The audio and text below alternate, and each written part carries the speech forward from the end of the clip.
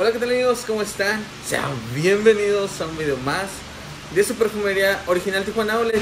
Si este es uno de tus primeros videos, déjame presentarme. Yo soy Rosendo Duarte y el tema del día de hoy va a ser una reseña, la cual es una reseña sumamente personal de un perfume muy polémico. Es un flanker de la marca eh, Carolina Herrera y se llama Two Trail Fever. Es un flanker de los mentados 212 tradicionales les voy a estar dando mi opinión personal acerca de este perfume, las notas que contiene, las notas de corazón, las notas de salida, las notas de fondo, una opinión y una reseña personal acerca de mi experiencia usándolo.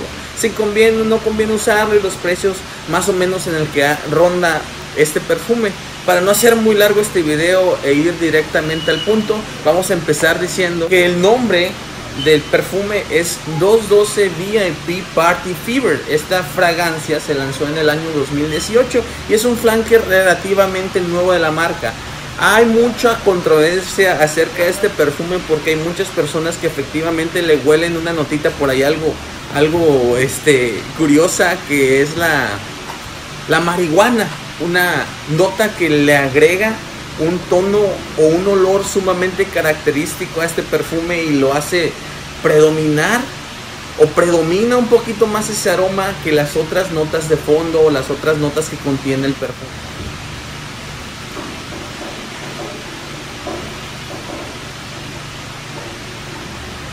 Las primeras notas de salida, aunque no se alcanza a percibir 100% el cannabis en las primeras notas, que son manzana roja, jengibre, se siente bastante un poquito de bayas de enebro y cómo, cómo negar esa nota característica también que es el tamarindo, se siente un poquito más más este presente el tamarindo en las primeras notas o en los primeros minutitos de salida.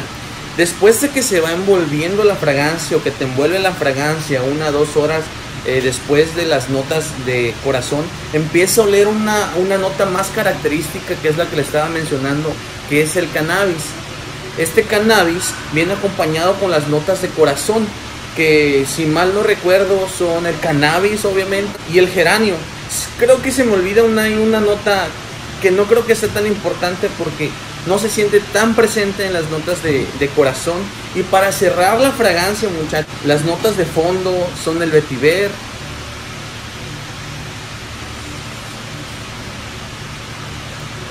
incienso, cedro, se puede apreciar también almizcle que en conjunto con el cannabis crea esa nota esa nota característica del perfume.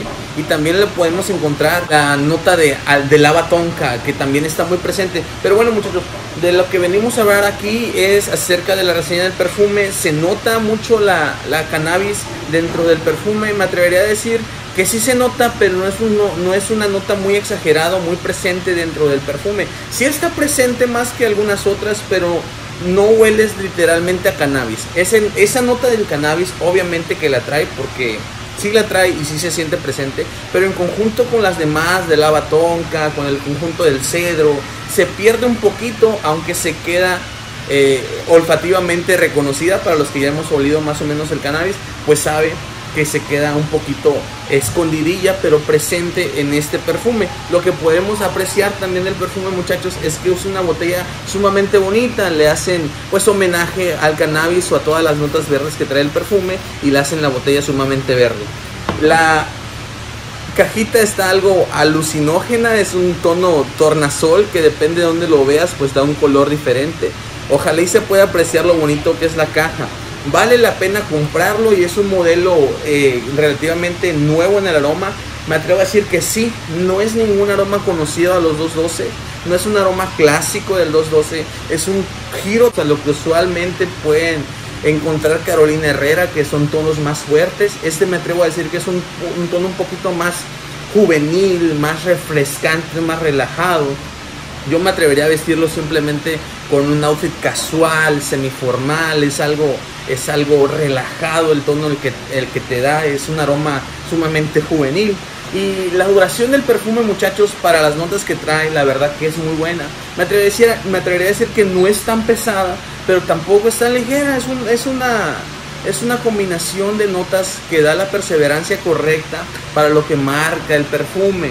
O sea, que no te das a notar mucho con el perfume, pero siempre va a estar presente al menos en ti unas 7 horas más o menos, 5 horas más o menos potente, que es lo que yo en mí, siendo de un pH fuerte, alcanzo a notar bastante bien. ¿Vale la pena comprarlo muchachos? Yo me atrevería a decir que sí vale la pena comprarlo. Es un perfume barato, para nada es un perfume barato, ronda entre 80 dólares, 90 dólares americanos, o 1600 pesos, 1800 pesos original. Obviamente puedes encontrar precios mejores en presentaciones en Tester que si no lo quieres para un regalo o para algo como de un presente, pues vale la pena comprarlos, muchachos. Eh, esta ha sido la reseña, muchachos, del 212 o del 212 Fever de Carolina Herrera. Espero les haya gustado y servido en algo. Si a ti te sirvió o si a ti te ayudó, tú me ayudas mucho a mí regalándome un like en el video.